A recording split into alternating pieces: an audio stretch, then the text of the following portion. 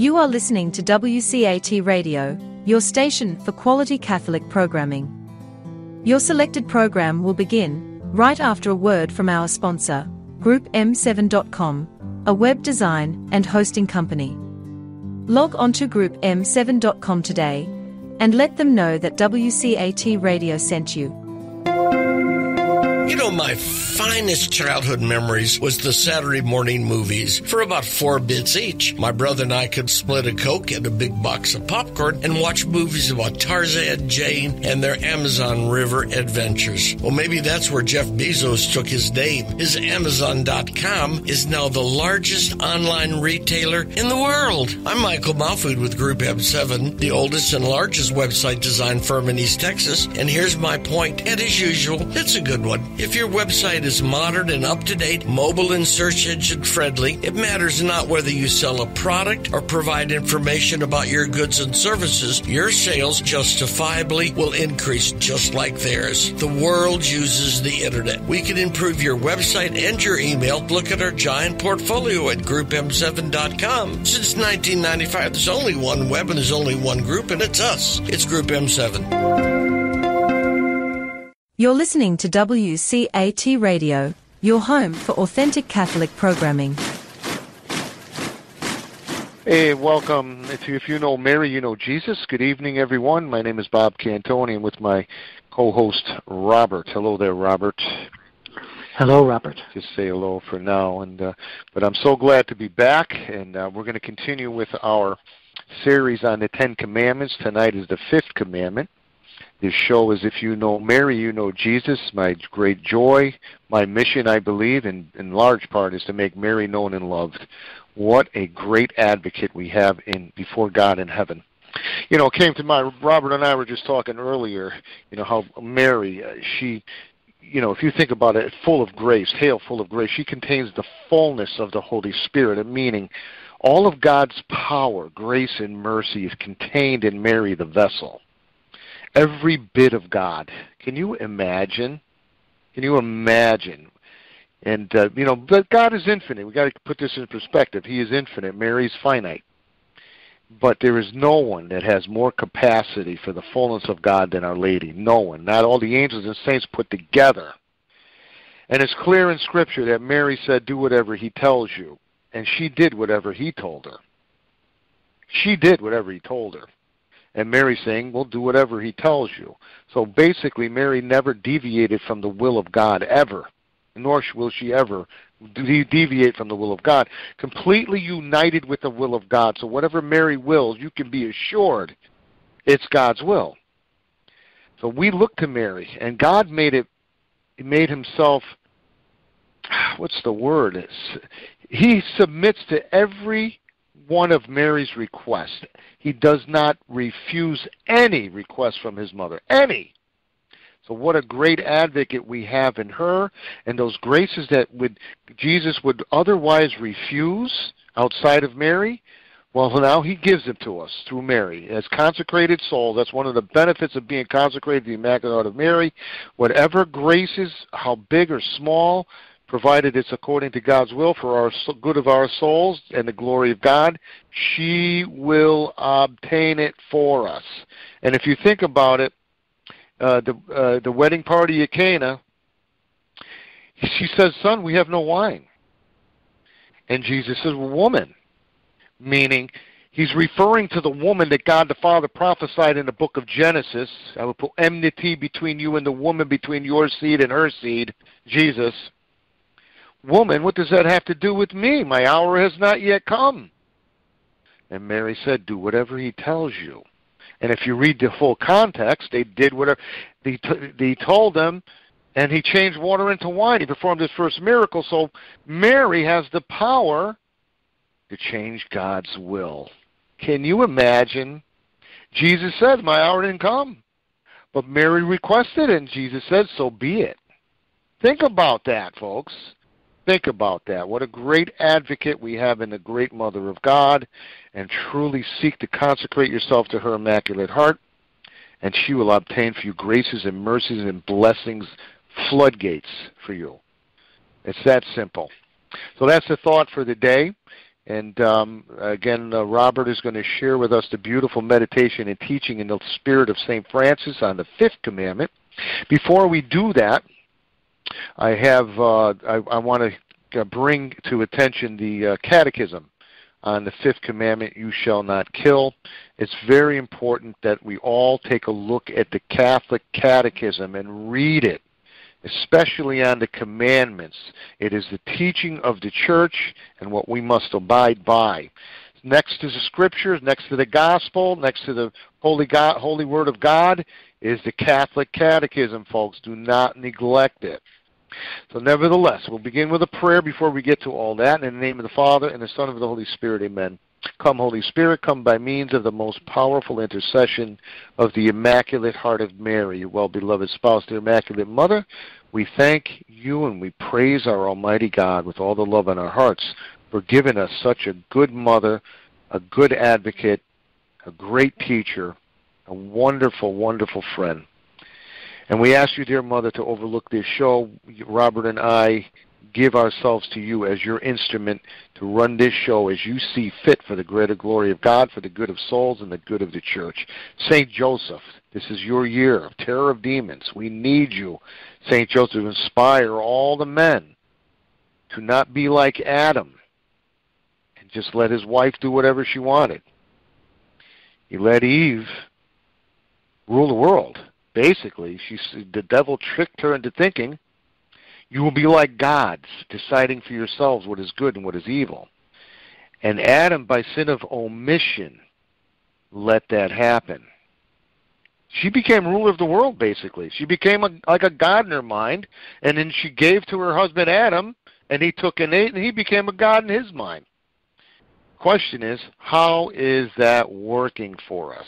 So we ask you, St. Joseph, to be that inspiration to all these men so that they become the heads of the family and the heads of the church, especially with our shepherds, and uh, do God's holy will and not the will of, of the evil one who wants to destroy families and the church. In Jesus' holy name we pray. Amen. Okay, so we'll begin with the catechism. And the fifth commandment, you shall not kill, it begins like this. You have heard it, you have heard that it was said to men of old, You shall not kill, and whoever kills shall be liable to judgment. But I say to you that everyone who is angry with his brother shall be liable to judgment. Of course, that's Jesus. And got Matthew's Gospel, Matthew 5, verse 21 through 22. You shall not kill. And Jesus enhanced the commandment, you shall not kill. He made it even better and deeper. Then it goes on to say, human life is sacred because from its beginning it involves the creative action of God. All right, that's very important. God creates the soul at the moment of conception.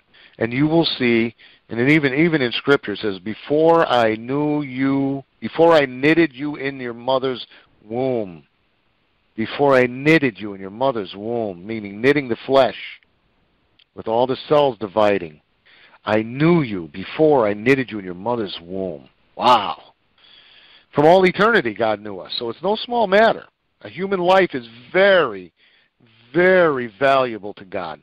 We're His children. So God, creative action, it remains forever in a special relationship with the Creator who is its sole end. God is our end. God alone is the Lord of life from its beginning until its end. God alone. We don't decide what we think is good and what is evil, like Adam and Eve did. That's what the devil tricked them into thinking. If we decide it's good to terminate and abort our children, then who's being God here? Who's being God? If politicians sign into law abortion laws that permits abortion across the board, procured abortion, where millions of innocent unborn babies are terminated in the mother's womb and it's made law, well then who's being God here? Who's deciding what is good and what is evil here? You see how twisted and how upside down this is? God is the one, the Lord of life, and God alone will determine who lives and who dies not as human beings. So God alone is the Lord of life from its beginning until its end. No one can, under any circumstance, claim for himself the right directly to destroy an innocent human being. That says it all. Under no circumstance. That's why abortion and murder of the innocent is an intrinsic evil. Under no circumstances is it ever permissible. Doesn't matter. I can't have any excuse. Money. Oh, I'm going to school. Oh, I can't afford it. Uh, my parents are forcing me to have an abortion. My boyfriend's forced. Under no circumstances. So, what do we do in these situations? We look to God for help. He gives us help. Look to the Sisters of Life in Washington, D.C. Contact them. Contact the missionaries of charity. They will help you. They will help you with your pregnancy. And they will help you to avoid abortion and then maybe perhaps find an adoption agency or whatever. There is help out. There is alternatives to abortion. I want to make that clear. There is alternatives. Yes, it may be a little difficult but this is a human life we're talking about. And God will bless you in your efforts, guaranteed. Guaranteed. So I will um, I will let uh, let's let me just do one more uh, reading from the Catholic Catechism. All right, so it says, "Witness of sac- sacred history." In the account of Abel's murder by his brother Cain, Scripture reveals the presence of anger and envy in man, consequences of original sin from the beginning of human history. Man has become the enemy of his fellow man. God declares the wickedness of fratricide. What have you done? The voice of your brother's blood is crying to me from the ground, and now you are cursed from the ground, which has opened its mouth to receive your brother's blood from your hand. So God is uh, trying to protect us from uh, um, the the effects of original sin, the effects of our first parents, who the devil tricked into thinking that it's okay to decide for yourself what is good and what is evil. You see. One more uh, reading here. This is on abortion, number 2270 from the Catholic Catechism. It says human life must be respected and protected absolutely from the moment of conception, from the first moment of his, his or her existence. A human being must be recognized as having rights of a person, among which is the inviolable right of every innocent being to life. If you and I have a right to life, then so do unborn innocent children newly conceived to, the, to, to their whole life on earth. They have a right, just like you and I. And you and I have no right to decide whether that child lives or dies because I believe that is good or more and moral. Before I formed you in the womb, I knew you, and before you were born, I consecrated you. My frame was not hidden from you when I was being made in secret intrinsically wrought in the depths of the earth. And that's taken from Psalms. Uh, well, the first one was Jeremiah 115, also Job chapter 10, 8 through 12, and Psalms 22, 22 verses 10 through 11, and Psalms 139 verse 15. So this is all scriptural. This is all scriptural, and the Word of God is is holy and true. All right, I am. Um, I'm going to end it there, and I'm going to let Robert have the floor and give us the beautiful teaching on the fifth commandment in the spirit of Saint Francis. Thank you, Robert. Okay, sure, Robert. Um, name of the Father and the Son and the Holy Ghost. Amen. The fifth commandment. The fifth commandment of God reads, Thou shalt not kill. Many people believe that this commandment is simple and only has one direct meaning. This is false, for there is more to this commandment than the actual act. When one desires to journey to the kingdom of heaven, they must know what God demands. Many people claim to seek the kingdom of heaven, yet many times they act as if God does not exist. God demands, and many refuse to listen to what He demands. God demands from all of us obedience, yet many live in disobedience. God demands all of us to love, yet many times hatred comes from people's hearts. God demands all of us to be generous, yet many times we become selfish. God demands patience from all of us, yet many times we become frustrated with impatience. God demands all of us to remain faithful and to be strong in our faith, yet many times we become slothful. God demands all of us to be docile, which means to be teachable, yet many times our pride keeps us from it. It is important that God becomes the most important part of our lives, and we must listen to what He has given to us. We need to listen to what God expects of us in His commandments. God demands in His commandments obedience. God is so gracious that He generously gives us the path to the kingdom of heaven, the Ten Commandments. God is all deserving of our respect, honor, love, and obedience as He commands much from us in this fifth commandment. The responsibility of every brother and sister under the commandment, Thou shalt not kill, is to live a virtuous life. Reflect upon this simple story. Once there was a man who spoke to his brothers and said, What does thou shalt not kill mean? The brother was hesitant in answering this question. He said to the man, Does not this mean when we, we should not take another's life? The man said to him, And in how many ways can one take another's life? He replied to the man. I see that God is inspiring you with this question. Please allow him to teach me through you about the fifth commandment, he told the brother. My brother, there are two my brother, there are two forms of death. One is physical and the other spiritual. It is easy to know the first death that you can cause with anger as your guide. But the second death, the death of the spirit, is far more difficult to recognize in one's life. Reflect, my brother, on the story. I will tell you. For then perhaps you will understand the second death more clearly. There were seven children who became friends at an early age. The parents of the children saw their friendship and were pleased. The parents sent the children to the same school, and their friendship grew even stronger. These children did not lack faith in God due to the love of their parents. When they entered the school, they all learned quickly, and their bodies were strong and healthy. They became popular, and many of the other students looked up to them.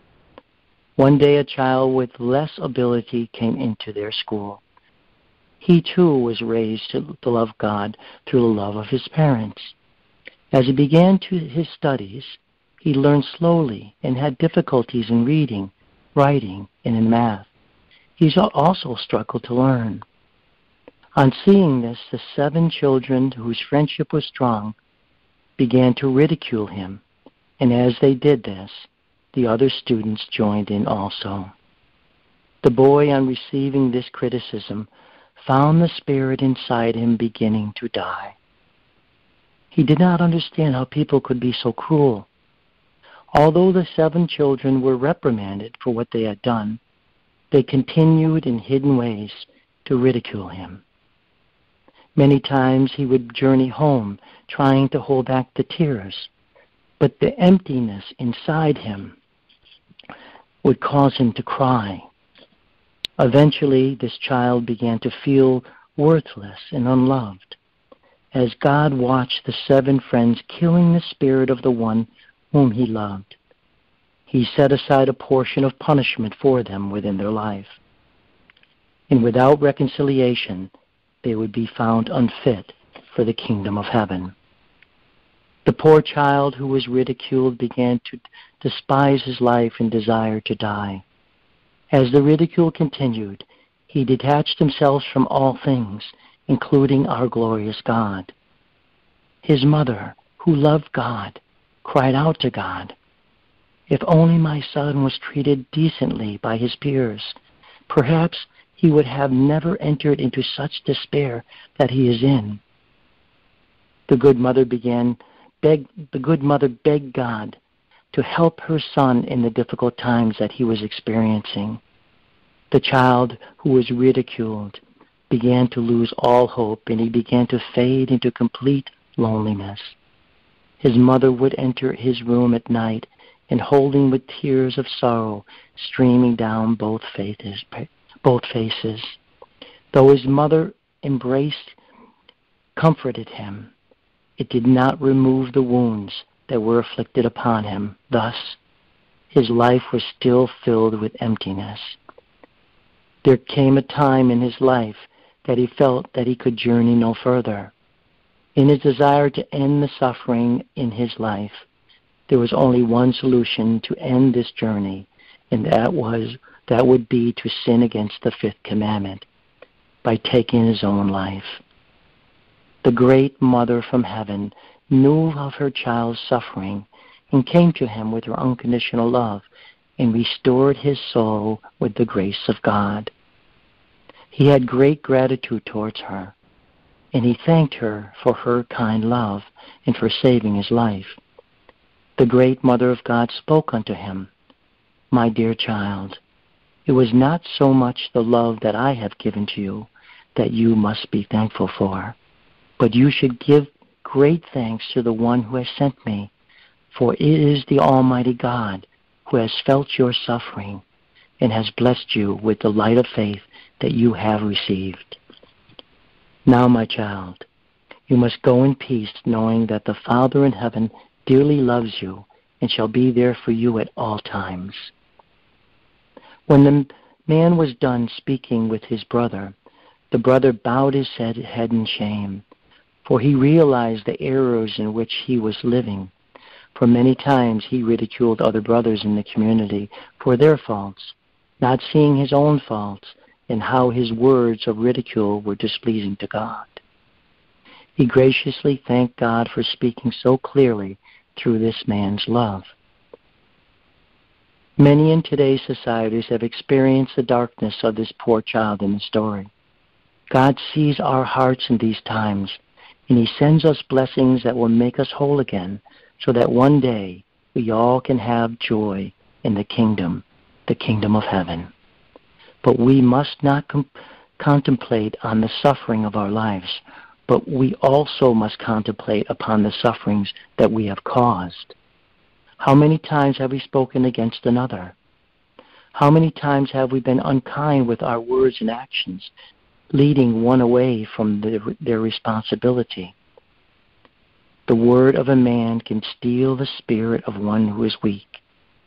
It is if there was a flood and your friend fell into the water of death, would you turn your back on them as if they as if you never knew them? And because of this, your friend was washed away from you to their death. Words can also flood the heart with poison, causing spiritual death to even those who you love. Is there any one of us who could stand in faith unto death? So it is important that we all be gentle with one another and be generous with our words, actions, and self.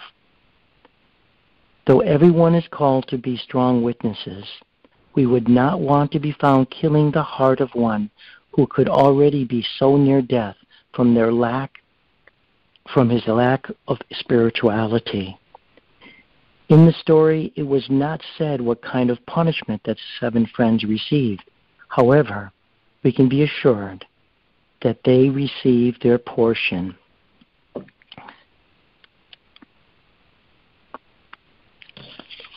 Excuse me, their portion of, for their, their cruelty.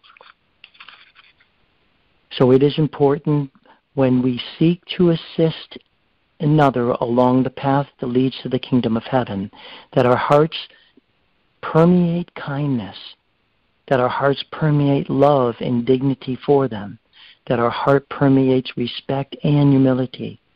But above, but above all, blessed are we when we utilize our love to comfort those afflicted children, like the poor child in the story.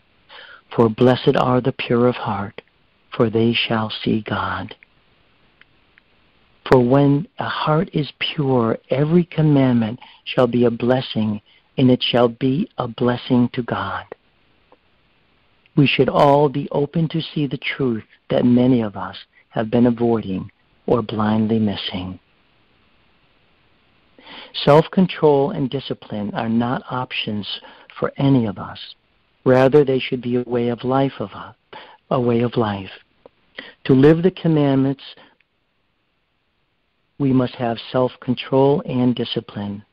For with self control and discipline, we will be able to fight off temptations and be able to conquer over those self desires that displease God. Many times people overlook the responsibility of this commandment. They only see the outer portion of its meaning, not the inner portion that dwells within it. It is our duty by this commandment to maintain our body, soul, and dignity with good health and with proper care, both spiritually and physically. The body is a necessary vessel that each of us has been blessed with. It is important that we take proper care of our own life, for in all reality, life does not belong to us.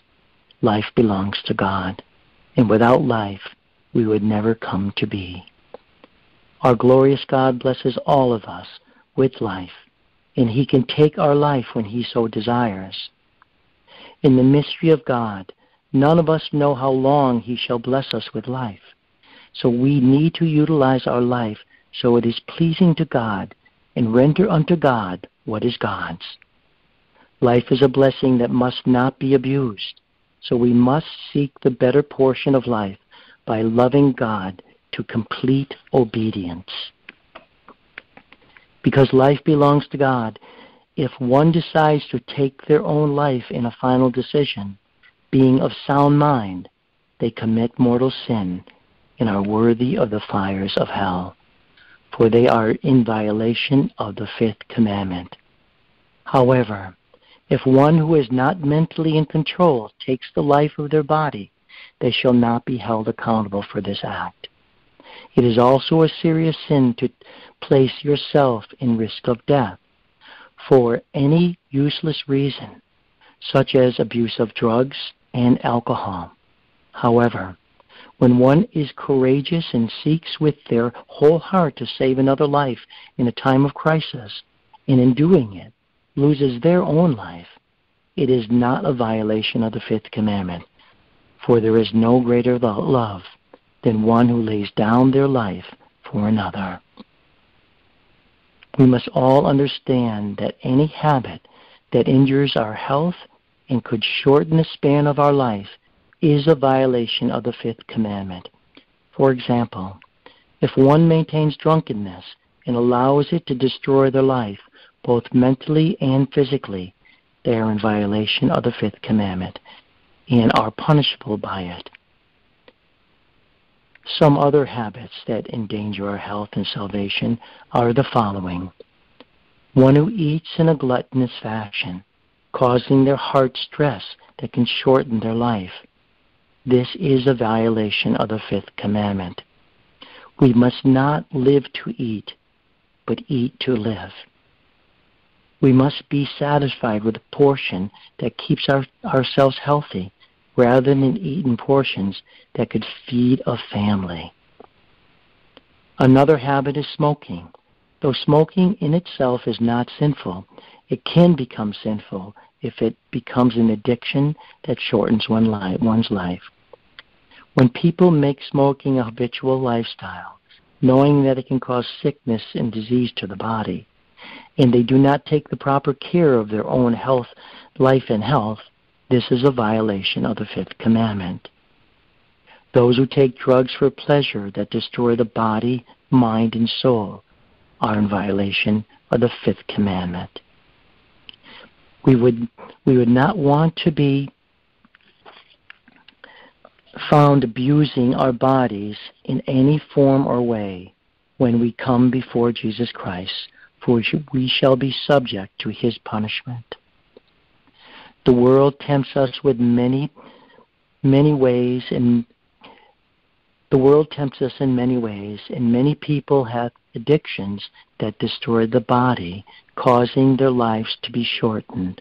Thus, the fifth commandment is violated upon self more than by injuring others. By the fifth commandment, we are all commanded to love and respect our neighbors and to live in peace and union with them. It is our duty to respect their rights and assist them in their spiritual life if necessary. We must impress we must express concern for their well-being and act on our concerns when necessary. Many people in our nation today express hatred toward their neighbors, which is forbidden by the fifth commandment. Many speak in anger towards their neighbor, which is forbidden by the fifth commandment.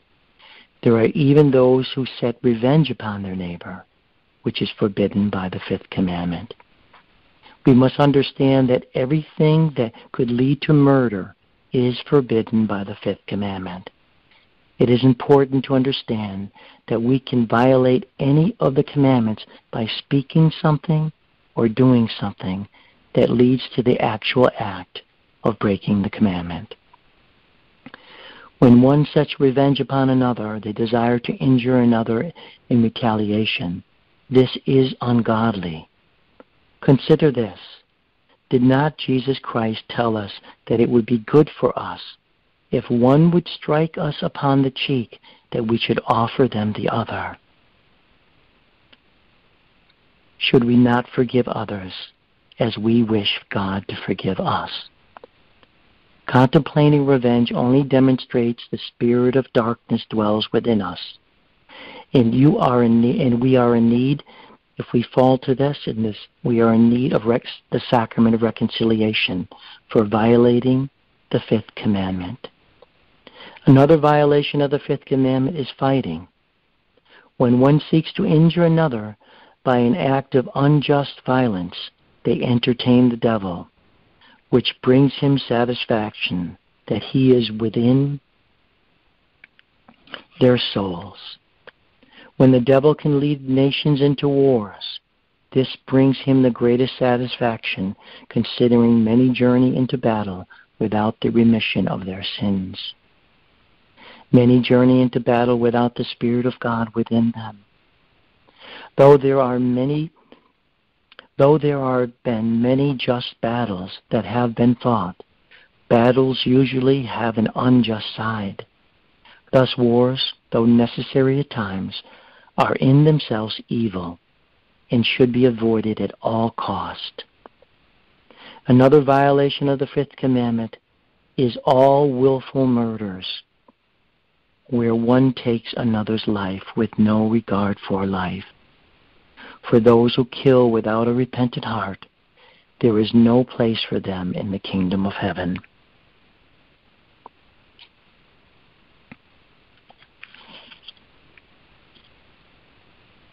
Hold on one second, Robert.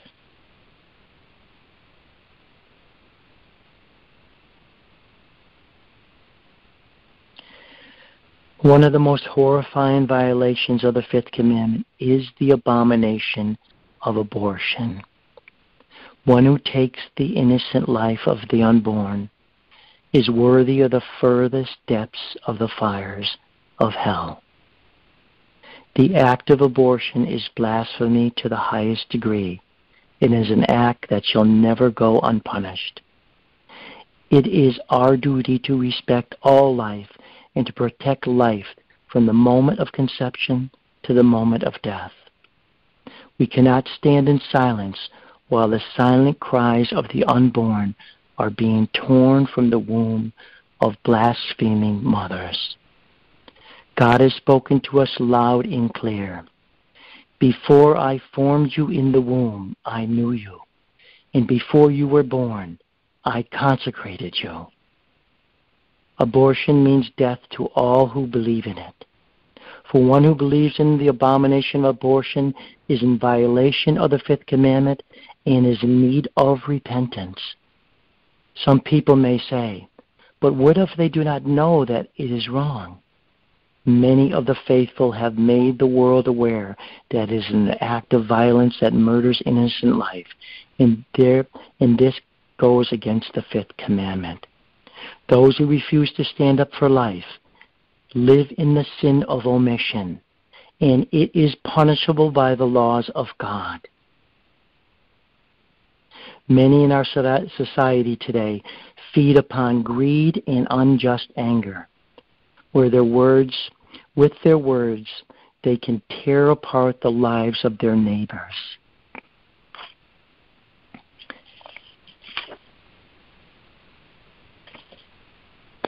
Because the world has forgotten the virtues of God, there are many abusing the gifts of God. There are so many scandalizing their neighbor, bringing great sorrow to heaven. We must never seek to kill the soul of another by scandal. The tongue can be a two bladed sword that can kill the spirit, leaving one in complete darkness.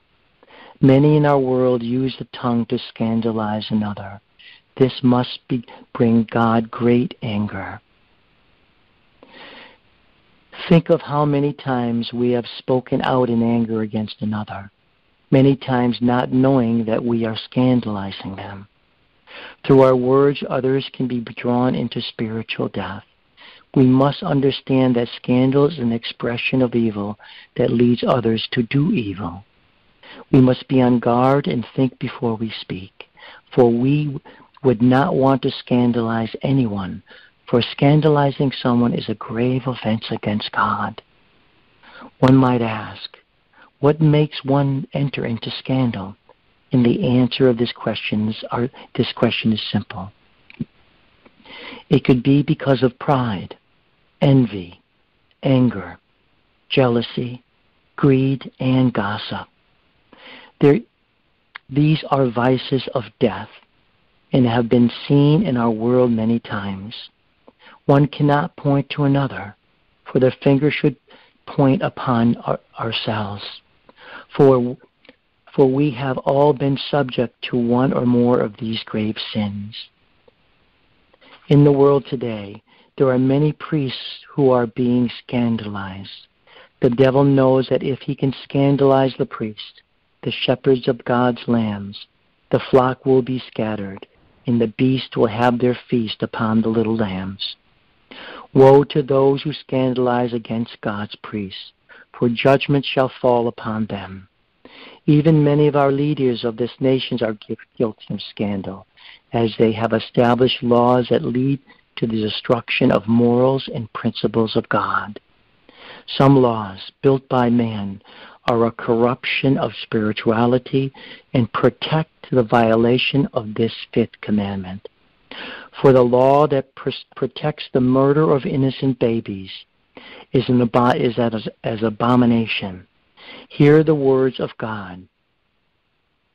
Whoever causes one of my little ones to believe in me to sin, it would be better for him to have a great millstone fastened around his neck and to be drowned in the depths of the sea.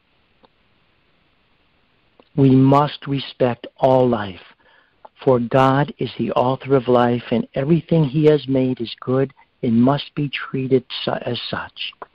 By the fifth commandment, we must become peacemakers in the eyes of God. For this is the opposite of one who strikes out in vengeance, killing another. When some, something evil is revealed by God, one must seek the opposite by always doing good. St. Padre Pio said, If the world could see in the sky how many demons that belong to the devil that are here upon the earth, there would be there would be so many that it would block out the sun. Our only protection is the grace of God. To obtain this grace, we must pray, fast, and do penance.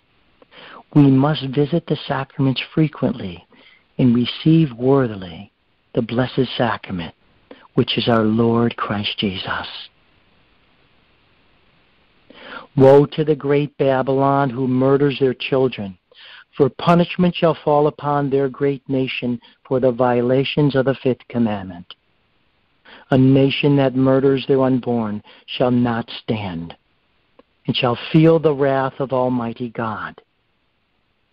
In the midst of this nation burns a fire of evil that fuels the hearts of this nation with anger and bitterness. Many have begun to journey along the path of destruction, for they have been consumed by the devil who fills them with lies.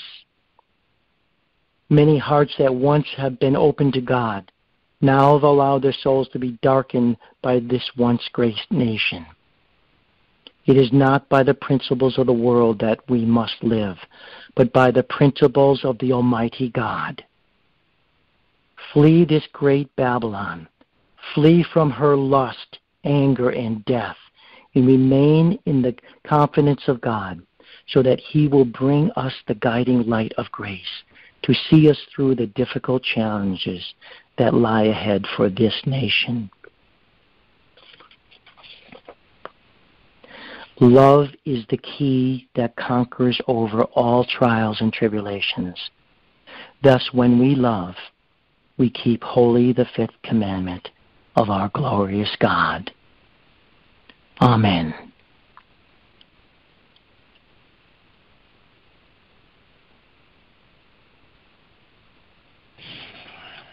Amen.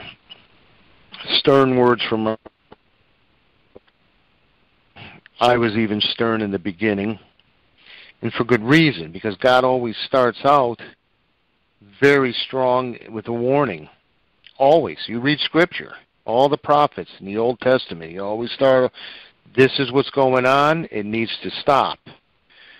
But He also, God is also a God of great mercy, infinite mercies, but He's calling us to repentance, calling us to conversion to have a contriteness to say, God, I am sorry. If there are those out there that have had an abortion, or those who even murdered people, know that God, His mercy is extended to you. We just need to be reach out and get it. But Jesus says, I, I do not condemn you. But He says, go and sin no more. So we need to work on ridding our lives of sins that cause destruction, not only to our own souls, our own self, but to others around us. It's really, the gospel is an urgent call to conversion, repentance, and conversion. You know, but God's mercy is really the medicine for all of these ills, all of the sins that we have committed, for all of the anger, the desire or the the um, temptation for to commit abortion or any sin, any of the sins, any of the deadly sins. God's mercy and grace is there to help us. And when we show God that we are serious about converting, God, I don't want to lead a life of sin anymore. I don't want any part of Satan and his kingdom and his evil. I don't want any part of abortion, any part of harming my neighbor. God, please help me. I guarantee you he will immediately extend his grace and mercy when he sees a sincere soul. And should we fall, should we fall, God's mercy will be available to you whenever you need it. Keep that in mind. But we have to avoid the sin of presumption. We can't presume that God I can do whatever I want and God's going to be merciful to me anyways. Doesn't work that way. He, we need to show him that we are sincerely repentant and we're willing to try. We have a desire to try to convert, to change our ways, to live a life of the gospel, a life of to live the Ten Commandments. I guarantee you, all of heaven will rejoice at one repentance dinner. All of heaven, all the angels and saints. And God will extend His great mercy to you, guaranteed. He is so merciful. He is so in love with you, despite He's so in love with all of us, despite our sinfulness, our wickedness, our wretchedness, whatever it is. He just want, asks us to try and to turn toward Him and ask Him for His help, and He will give it to us. I Just want to make that very clear. His mercy and His help is there, especially in the sacrament of reconciliation.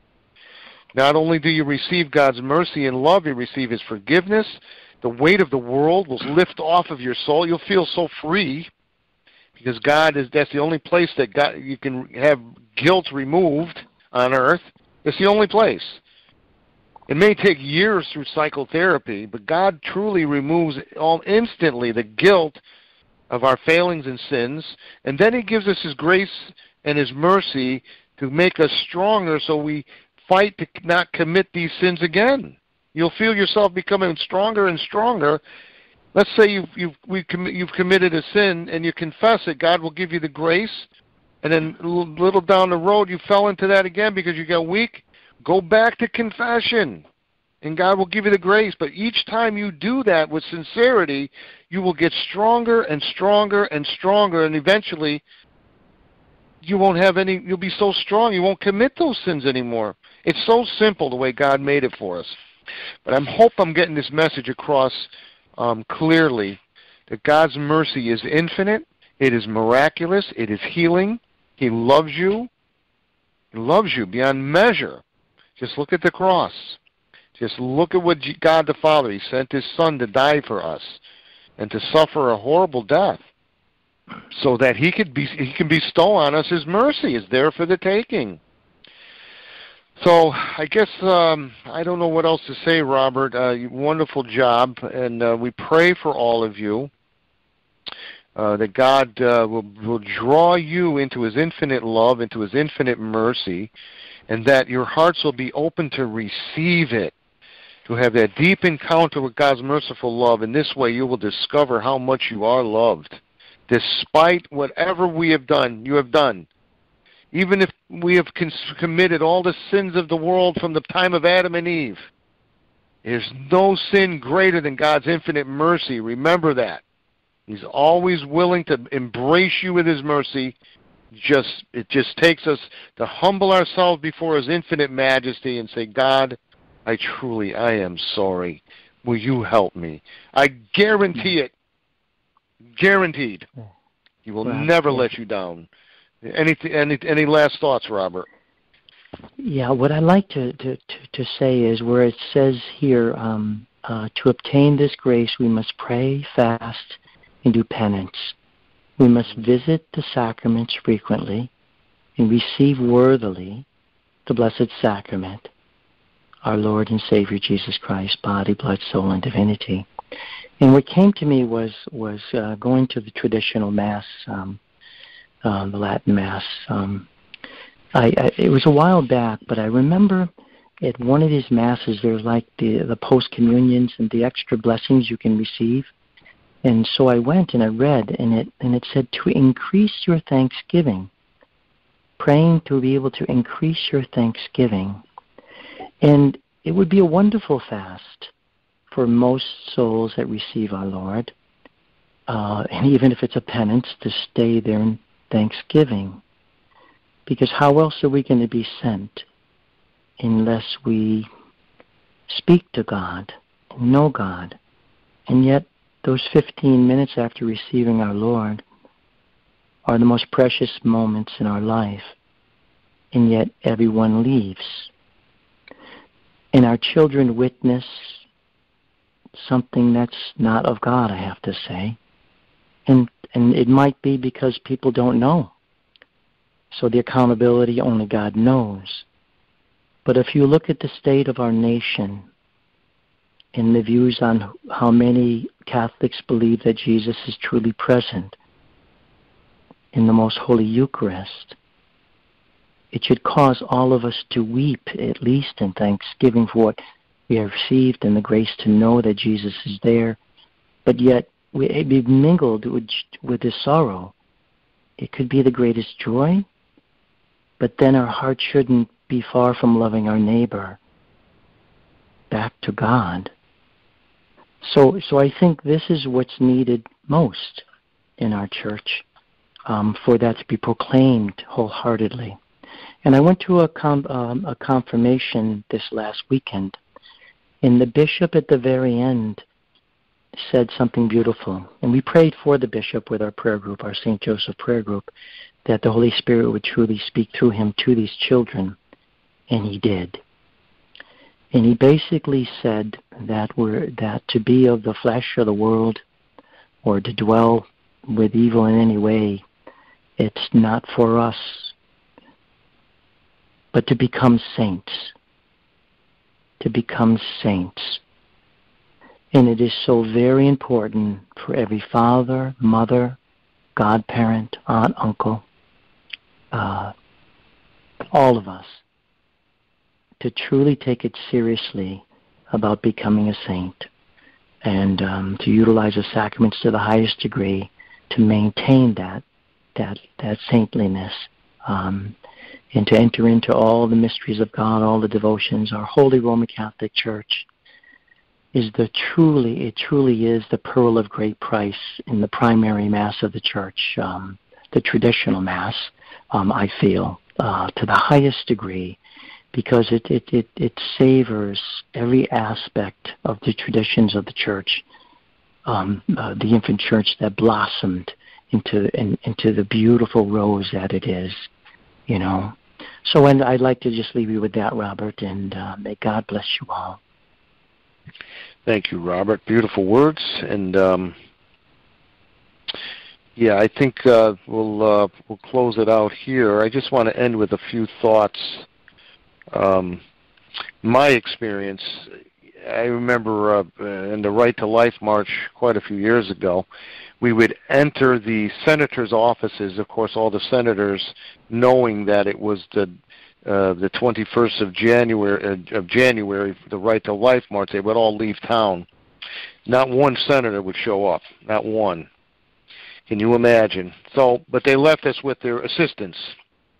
And uh, I was in one of the senator's offices, probably Senator Dodd, uh, when he was senator. And uh, you know, the assistant was very nice. She was um, cordial. She was, you know, doing her best to be pleasant and so forth and and uh, so but I brought up this the fact that you know uh, to to express my outrage I'm I'm an Italian I, I get emotional for so forgive me if I get overly emotional but I express my outrage with my emotion. But nevertheless I spoke with her. I says you know even a 2-year-old knows that there's a baby in mommy's belly. A 2-year-old and you ask any 2-year-old they will say there's a baby in mommy's belly. So it's not rocket science. So I expressed it to her just like that. And this pleasant, kind woman, nice woman, all of a sudden got angry and very defensive and offensive. And she was no more no longer pleasant. I don't know what I said that hit a nerve. But I simply said a two year old knows that there's a baby in mommy's belly. So this pro abortion woman who is supposed to be so peaceful and kind, and according to her, nonviolent, became violent. And she was nasty to me, and she wanted me to leave. So, I, you you tell me. I, I must have hit a nerve because I'm speaking the truth, and the truth is like a two-edged sword. You know, our Lord said He came to be a sign to be contradicted. He was the He was the cause for the rise and fall of many in Israel. Why? Because he's the truth. But sometimes the truth is meant to cut. To wake us up. To wake us up to the truth. Because we are in dead, deadly danger if we violate the commandments of God. If they especially if they go unrepentant. And Robert mentioned one beautiful thing to become a saint. That's what the gospel is all about. Put on the mind of Christ, become a saint. No longer I, but Christ live in me. I am dead to the world of flesh and the devil. I am dead to my own self love. And Christ is the total and complete center of my entire being. That's what a saint is. One who does the will of God always or at least strive to do the will of God. That's what a saint is. But once you become a saint, or once you are striving to become a saint, then God's mercy and power becomes in you. You become, He, he extends to you all of His gifts and graces so that you can give it to the world. You see? And then you'll be a, a participant in God's healing ministry, in His mercy, ministry of mercy, and you will draw more souls to heaven through you becoming a saint. This is what it's all about. This is what God's desire is and why He gives us the commandments, gives us the gospel, gives us all that Jesus taught so that we can become, as St. Louis de Montfort says, the fullness of Christ's age on earth. Not wait for heaven, on earth. Thy will be done on earth as it is in heaven. And a saint is one who does the will of God constantly, always. And, and should we fall? Robert, sure, go ahead. And I'd like to say, too, on today's feast day especially, so very important St. John Fisher and St. Thomas More. And we ask uh, Our Lady to smile upon them and intercede before the throne of God for all, for our Holy Father, and for all cardinals and bishops and priests and deacons, that they have the courage of St. John Fisher and St. Thomas More. Amen. Amen. Come, Holy Spirit Come by means of the most powerful intercession of the Immaculate Heart of Mary, your well beloved spouse, and St. John Fisher, and St. Thomas More, and St. Joseph, and St. Francis. Amen. Amen. And I would, I just want to remind everyone to please, um, if you haven't thought about it, please, if you can commit one rosary a day, just focus one rosary for the Holy Father, and for all your bishops. Just pray a rosary and, and offer to Our Lady for them specifically, because they need us. They need our prayers. And we need them because they give us the Eucharist and they give us priests. Our bishops give us priests. The church can't survive. The world can't survive without priests because priests give us the Eucharist. So no priest, no Eucharist. And we need the Eucharist. So pray for all your bishops. Pray especially for the Pope and the bishops. And, uh, you know, really with all your heart, pour out your heart to let Our Lady intercede for them and obtain for them all of the graces that heaven wants to bestow upon them for the good of the church and for the glory of God and the good of souls. For the good of souls. So I'll leave you with that, and I thank you all for listening. And I thank you, Robert, for joining us and, and give us the beautiful meditations and teachings. And uh, until next time, may God the Father, Son, and Holy Spirit, the most holy Trinity, bless you all and your families and your loved ones through the hearts of Jesus, Mary, and Saint Joseph. Amen. Good night, everyone. Amen. The mission of Holy Apostles College and Seminary is to form faithful witnesses of Christ. Year after year, the prestigious Newman Guide has recommended Holy Apostles for our academic excellence and steadfast fidelity to the magisterial teachings of the Catholic Church. We are also fully accredited and the leader in Catholic online learning. Our students enjoy the unsurpassed flexibility to study on their own time and anywhere in the world through asynchronous engagement. Holy Apostles is dedicated to the relentless pursuit of truth, which allows students in all academic programs, including undergraduate, graduate, and personal interest, to formulate a coherent worldview based on both faith and reason.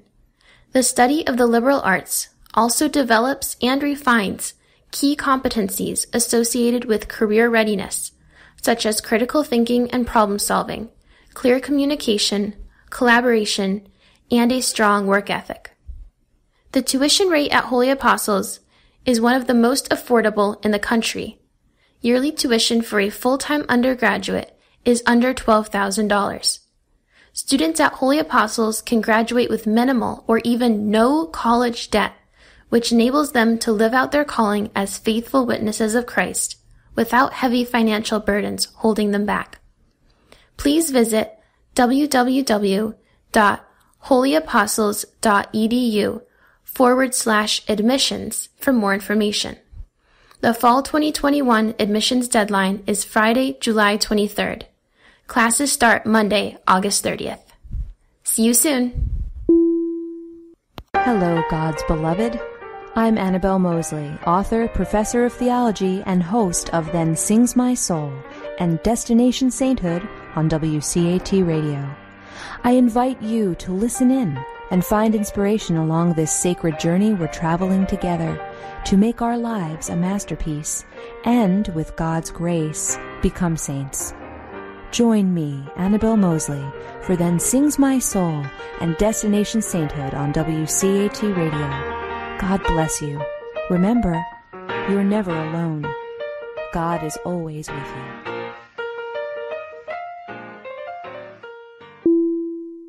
Thank you for listening to a production of WCAT Radio. Please join us in our mission of evangelization.